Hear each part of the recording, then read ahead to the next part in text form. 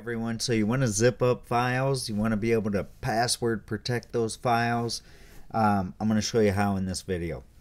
It's going to be kind of fun. Um, definitely uh, leave comments at the end if you have other ways that you've done it or if you've cracked open these files and used different tools. I'd love to hear all your guys' experiences on that stuff. I'll definitely provide my feedback as well.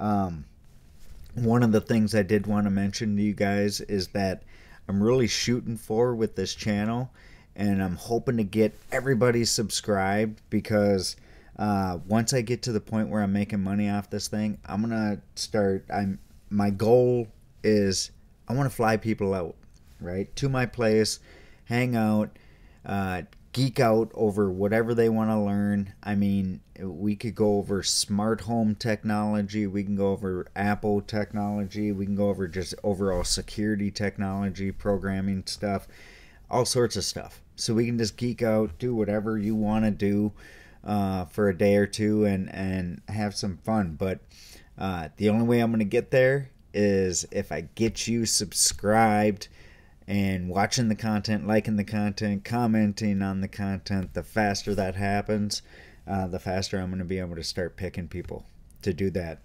And at some point, I honestly, my goal is to like be able to have like a group of people come out, you know, for a weekend and and and honestly like have some of the engineers I work with come out and work with all of us as well. So I would just love to do that. That would be just sweet. Um, all right, let's get into this. Uh, let's zip up some stuff. So we are going to start off doing it kind of the easy way, the, the way that's just right in the Finder. If I want to zip up this file right here, I'm going to hold down Control, click on it, and I'm going to hit Compress.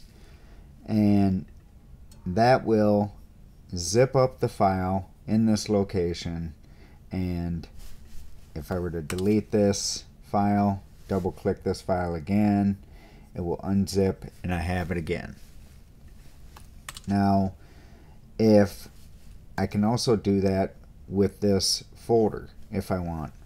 A cool thing that you can do in the finder is you can select these two items uh, click control and it changes and you can compress both the items into what's called an archive.zip.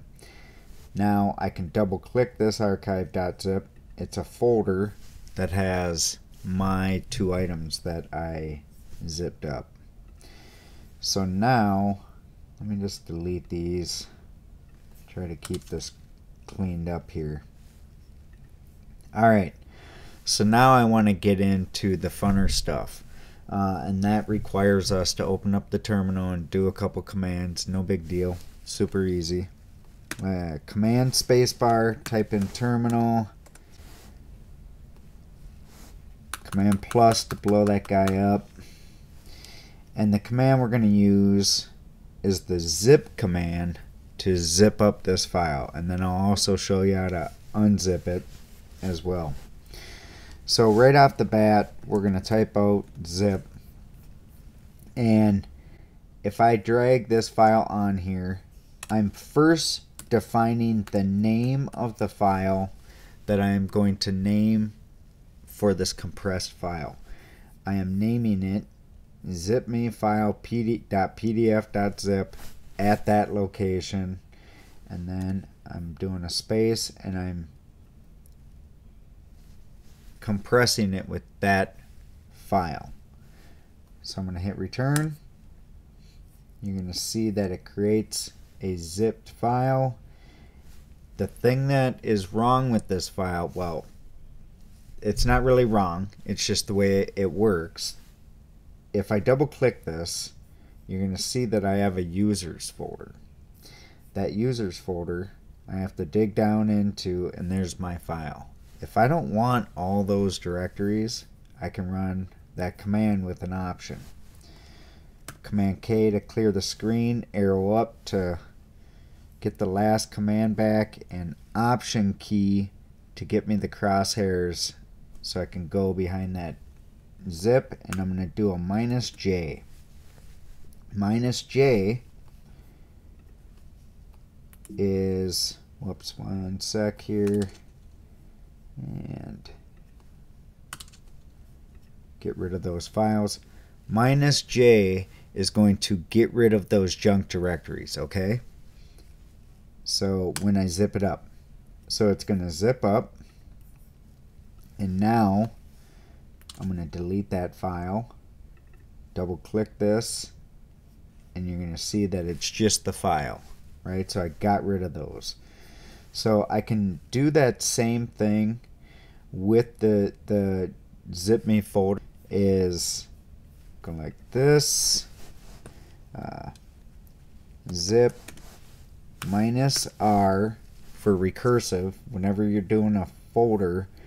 And if that folder has folders or directories within it and they're you need to recursively uh, compress throughout. Otherwise you just get that top level directory all right so we're doing recursive uh, we cannot do the minus J, so we're just going to drag this folder. We're creating a name dot zip, and then we're giving it a source, and it's that folder. I'm going to hit go.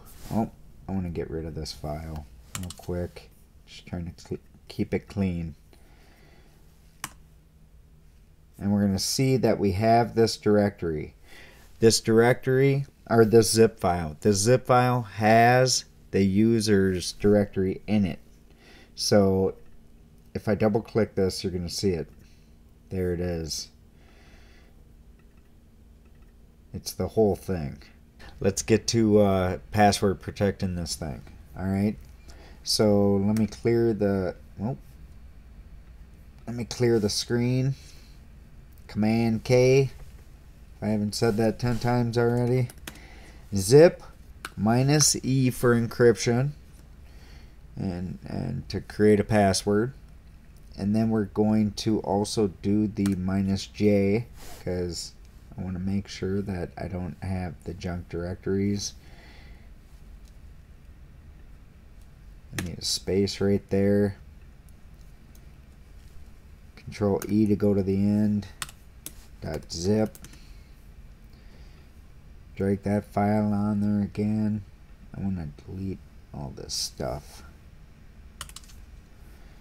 Clean it up. Alright, so what do we have here? We have zip. We're, we're password protecting it with the encryption.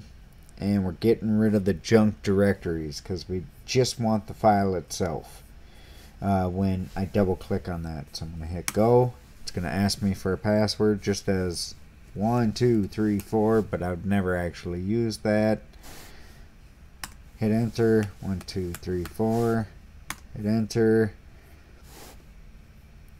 And there is my password protected file. Let's double click that guy. It's to ask me for the password. One, two, three, four. Let me delete this one first. Click OK. And boom file is back. I can even use unzip. Want to drop it on the desktop. Get rid of that file just to show. And then give it a source. Oh, I got to give the minus D option for the directory going to ask me for the password at the command line. One, two, three, four. And boom. There's the file. Pretty slick, huh? Pretty easy. Not too bad.